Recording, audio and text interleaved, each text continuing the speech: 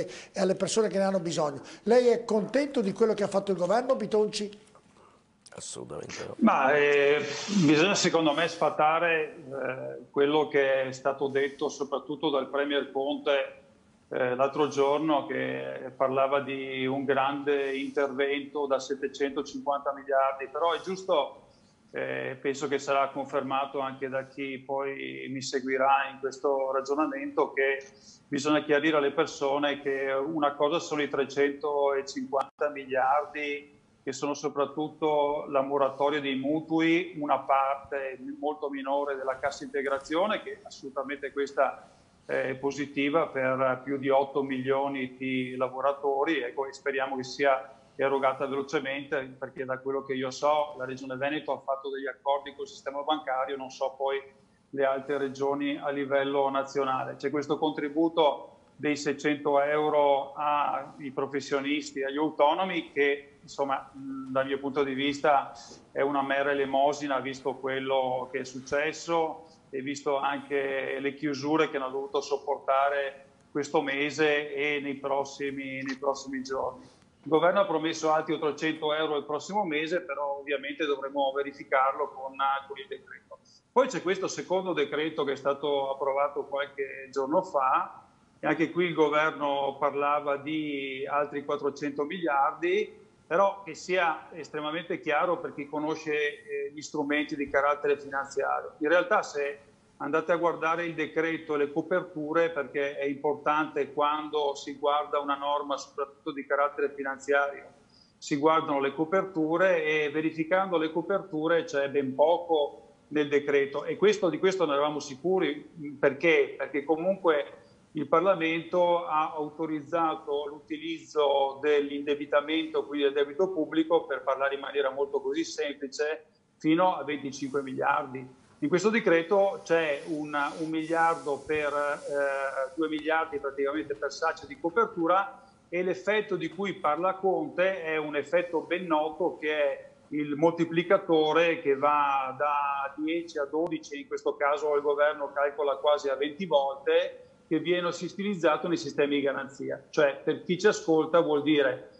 che per ogni euro che si mette in un fondo di garanzia si coprono 20 euro, in questo caso, eh, per, per, dare garanzia attraverso i vari sistemi, quindi attraverso SACE alle, alle imprese. Allora c'è questo piccolo eh, credito e quindi questo finanziamento che viene dato fino a 25 mila euro per i piccoli, e delle somme mm. direi più importanti per le imprese. Però sono sempre debiti, cioè parliamo sempre di somme eh, che, e, e, quindi io che eh, svolgo ancora la, la, professione di commercialista, che ho ancora lo studio, ma ho sentito tantissimi colleghi durante questo mese, il problema delle nostre aziende è un problema eh, certamente di liquidità, quindi immediato, però è un problema anche legato al successivo indebitamento, cioè stanno valutando le aziende eh, se indebitarsi ancora perché comunque saranno dei debiti e delle coperture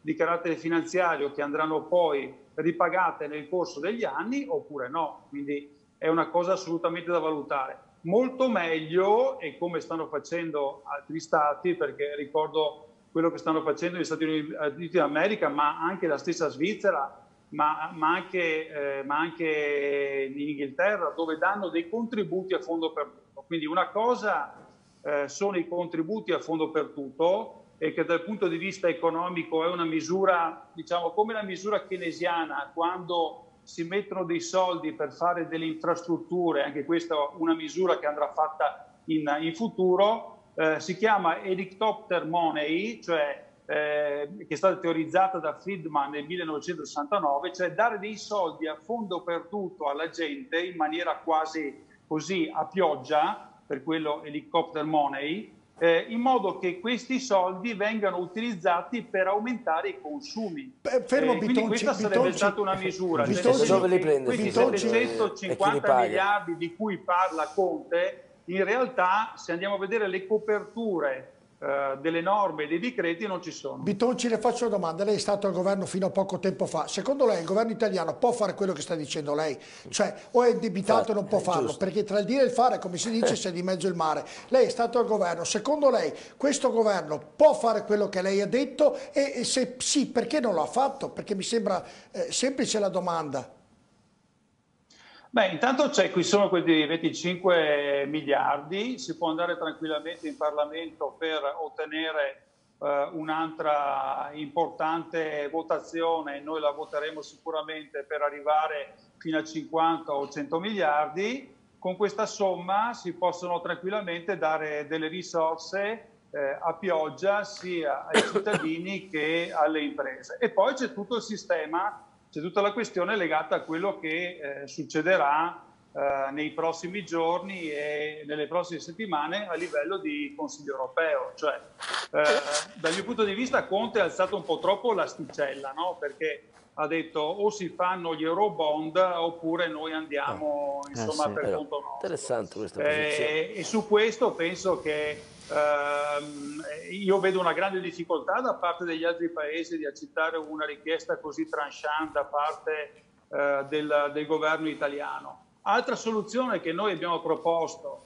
eh, e che potrebbe essere assolutamente perseguibile è l'immissione di un'ulteriore, un'obbligazione esatto. che può essere tranquillamente di 100 miliardi a un tasso particolarmente agevolato, magari utilizzando Debito. anche è una proposta che avevo fatto io da sottosegretario ancora un anno e mezzo fa, utilizzando l'emersione, ricordiamo a chi ci ascolta che ci sono quasi 150 miliardi eh, nei conti correnti e soprattutto nelle cassette di sicurezza che potrebbero tranquillamente emergere e quindi diventare utilizzabili anche per la liquidità sia personale che aziendale, quindi con una sottoscrizione obbligatoria eh, di queste obbligazioni di carattere statale, quindi è un sistema che questo per risolvere il tema dell'indebitamento e del finanziamento di manovre che devono essere assolutamente fatte a pioggia eh, sulle aziende e sulle persone fisiche. fisiche. Perché eh, io penso che dopo avrete anche il presidente del, dell'Ascom eh, qua da voi, vi dirà che non bastano solamente i prestiti, eh, non bastano le garanzie, eh, che le perdite del settore per esempio commerciale sono perdite reali e eh, se i dati sono reali, ma penso che lo siano, si parla dai 40 ai 45 miliardi al mese di perdita del prodotto interno lordo e sapete benissimo, e questi sono i numeri, che se c'è una perdita del 10% del PIL nazionale si va sui 150 miliardi, perché Vittoci... questi sono i numeri. E quindi una misura di questo tipo, una copertura solamente dal punto di vista delle garanzie bancarie e finanziarie dal mio punto di vista è assolutamente insufficiente. Allora chiedo davvero rapidità perché avremo anche altri collegamenti qui, da Antonino Pipitone e anche eh, Marco Schesara che vogliono fare delle domande a Massimo Bitonci. Chiedo gentilmente a tutti se siete sì, rapidi sì. perché ovviamente no, due, il tempo televisivo è un tempo tiranno. Due, due, cose a Massimo Bitonci che saluto. La, la prima vedo che è molto, Ciao. se posso Uh, mi sembra una posizione alquanto morbida diciamo, sulla posizione di Conte che addirittura ha criticato perché troppo, come dire, sta tirando troppo la corda con, con l'Europa. Quindi nel senso che voi sareste favorevoli anche a utilizzare i famosi fondi del MES se non avessero la limitazione del, eh, della Troica sostanzialmente, perché l'Europa ha detto prendete i soldi del MES per eh, utilizzarli per questioni sanitarie, questa è la prima cosa. La seconda questione che riguarda, l'ha già detto un po', un po', il direttore, cioè dare i soldi a fondo perduto alle aziende che sarebbe la cosa più bella del mondo, il problema è questi eventuali eh, fondi, parlavi di 25, 25, miliardi più altri eventualmente 25 da finanziare a fondo perduto, ma questi fondi poi andrebbero a, a, ad aumentare il debito pubblico e quindi comunque a, a pagarla tutti i cittadini oppure pensate altre strade? Allora, per quanto riguarda il ex fondo salva stati, che sì. attualmente viene chiamato Beh, OMS, ma sì. più o meno è la, è la stessa cosa, sì. noi continuiamo a ripetere, io sono convinto del fatto che intanto che ci diano di ritorno eh, quei 14 miliardi che sono stati messi all'interno del MES e sono, stati, e sono assolutamente inutilizzati. Io sono assolutamente contrario e feci l'intervento, potete guardarlo nell'anno 2012, quando ci fu l'istituzione eh, del, del, del, MES e feci l'intervento alla Camera in dichiarazione di voto per tutto il gruppo della Lega e se andate a guardarvi quell'intervento vedete quanto quell'intervento è attuale perché già a suo tempo io ripetevo che aderire al MES voleva dire mettere un cappio al collo, al bilancio e al futuro e all'espansione dell'Italia. Cioè dei vincoli e delle condizionalità così forti come ci sono all'interno del MES e lasciamo stare la proposta che c'è adesso perché è puramente per le spese di carattere sanitario. Mm. che sono una minima parte rispetto alle spese e agli investimenti che devono essere fatti nel settore produttivo e economico. Quindi non si parla di qualche miliardo delle spese sanitarie che possono essere tranquillamente coperte con l'attuale indebitamento e con le manovre fatte eh, da, attualmente dallo Stato. Parliamo dell'altra parte del MES, cioè quello che eh, poi porta a delle condizionalità molto precise che possono essere il taglio delle pensioni, certo. che possono essere certo. delle misure di carattere fiscale, cioè la patrimoniale, e Pipitone sa benissimo che all'interno del PD c'è una componente che sta già parlando siamo, di questo, siamo assolutamente contrari siamo a, ecco, assolutamente eh, contrari quindi c'è una dialettica interno al Parlamento soprattutto eh, dalla sinistra, dall'estrema sinistra al PD eh, che vuole una tassazione dei conti correnti o del patrimonio dei cittadini, che sarebbe una cosa secondo me dal punto di vista anche fiscale eh, pazzesco, perché invece bisognerebbe eh, operare attraverso una riduzione complessiva eh, delle tasse. Per quanto riguarda l'altro, l'altro tema, eh, l'Italia può emettere dei titoli, può emettere dei titoli a copertura del debito pubblico. Tutti gli stati, anche gli Stati Uniti d'America, eh, fa ricorso a nuovo debito pubblico, loro lo fanno attraverso... Lo pagano tutti, eh, insomma. Eh, loro possono stampare moneta, perché in realtà eh, una facoltà che noi non abbiamo è quella la possibilità di stampare moneta. Quindi dobbiamo farlo attraverso una manovra che può essere a livello certo. europeo, cioè una copertura certo. della Banca Centrale Europea Eurobond, di insomma. obbligazioni certo. che possono essere tranquillamente emesse anche eh, dalla nostra ovviamente banca centrale e possono essere rivolte a chi, dicevo prima, chi ha eh, del, dei soldi da investire eh, con delle condizioni particolarmente favorevoli. Chiaro. Questa è una possibilità che c'è e che penso che possa essere assolutamente colta. Marco Scesaro, se sei rapido alla domanda sì, Massimo una cosa Bitonci. veloce, oltre che salutare Massimo Bitonci e trovarmi praticamente ciao. d'accordo, ciao Massimo, sulla linea espansiva, e hai accennato imprese, lavoratori e secondo me una terza linea potrebbe essere molto interessante, almeno io lo vedo dal lato sindaco, eh, che i comuni andranno in grossa difficoltà nei prossimi mesi perché le entrate, almeno i bilanci che noi abbiamo approvato solo un mese fa, dovranno essere completamente rivisti, è chiaro.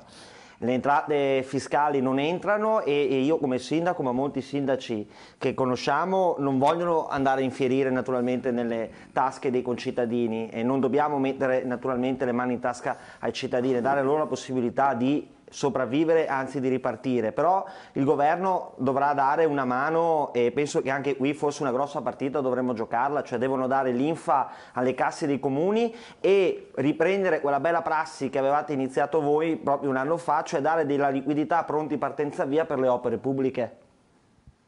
Ma eh, il tema dei comuni è estremamente delicato, eh, però sì. può essere anche una chiave di volta di ripartenza importante. Io prima parlavo eh, della politica monetaria, però c'è anche la politica keynesiana e la eh, politica sì. keynesiana l'investimento la possono fare assolutamente i comuni. Abbiamo 8.000 comuni in Italia, l'esperienza dello scorso governo ha dimostrato che quando si mette, noi abbiamo messo quasi un miliardo, miliardo. In, due, in due tranche a disposizione dei comuni e questi soldi sono stati completamente consumati, c'erano dei termini molto stretti, molto eh, stretti per poter fare domanda e poi utilizzare attraverso anche piccole opere pubbliche, però ovviamente il comune, anche quando realizza una pista ciclabile, una rotatoria, sistema una scuola, fa una manutenzione di una strada, di un ponte, e se penso anche alle province, quante eh, infrastrutture hanno ancora in capo senza avere assolutamente risorse, cioè dando dei soldi ai comuni è logico che è una importante misura di rilancio dell'economia, perché i comuni, gli 8.000 comuni d'Italia,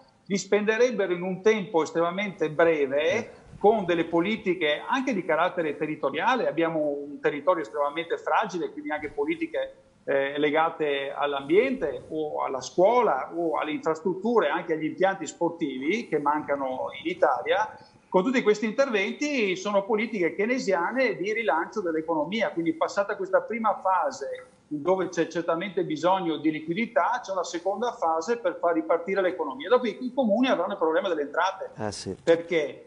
perché ed è un contenzioso che si aprirà, io l'ho detto, è una delle nostre proposte che abbiamo fatto anche al Senato, dagli emendamenti ovviamente non sono stati, ma ne avevo parlato sia con Baretta che con Misiani anche recentemente, perché io comunque cerco comunque di dare i suggerimenti a dei colleghi eh, che tra l'altro eh, con cui parlo eh, molto spesso. Cioè, il tema è quello della pace fiscale e, eh sì. si troveranno anche i comuni a un grande contenzioso relativo ai tributi che non vengono pagati. Eh Quindi sì. È da riaprire anche i termini della rottamazione ter, Visiani ci sta già ragionando, stanno ragionando su questo, anche il governo, del saldo e stralcio e di tutto quel contenzioso legato anche alle tasse di carattere comunale, perché molti cittadini non saranno in grado di pagare, di pagare le certo, tasse comunali. Certo. Quindi in futuro bisogna fare anche una definizione transattiva dei tributi comunali. Grazie Massimo Bitonci, come sempre molto gentile nell'intervenire Grazie, buonasera a tutti. Grazie Massimo Bitonci, abbiamo collegato, se eh, l'abbiamo ancora perché da molto tempo, Andrea Ferretti, economista